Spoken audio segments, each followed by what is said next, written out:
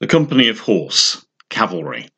Regiments of cavalry were troops mounted on horseback, usually referred to as the horse in the 17th century. They were primarily armed with a sword and would usually have at least one firearm. Many were armed with a shortened flintlock musket called a carbine. Most would carry a pair of pistols. Pistols could have either a flintlock or a complex wheel lock mechanism, the latter using a system rather like a modern cigarette lighter to create sparks and ignite a gunpowder charge. The cavalry was trained to be able to load and shoot their weapons from horseback. Cavalrymen were trained to ride their horses in three distinct movements or gaits. The first of these was the walk, very easy for the rider to control and guide the horse, used mainly to conserve energy and moving at roughly 4 miles an hour.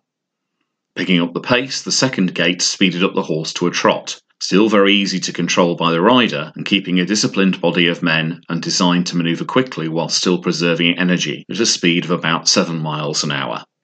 Finally, the rider could urge his mount into a gallop, used to quickly maneuver around the battlefield into a charge, designed to hit the enemy with great force with the horse at about 20 miles an hour whilst discharging pistols at close range before using a sword to engage in hand to hand fighting.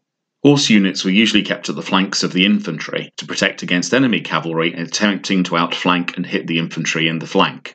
Effective cavalry commanders, such as Prince Rupert and Oliver Cromwell, could use their regiments to great effect. Some cavalry regiments, known as dragoons, were equipped with a longer infantry musket and would in effect act as mounted infantry. They would ride around the battlefield on horseback, but then dismount for combat.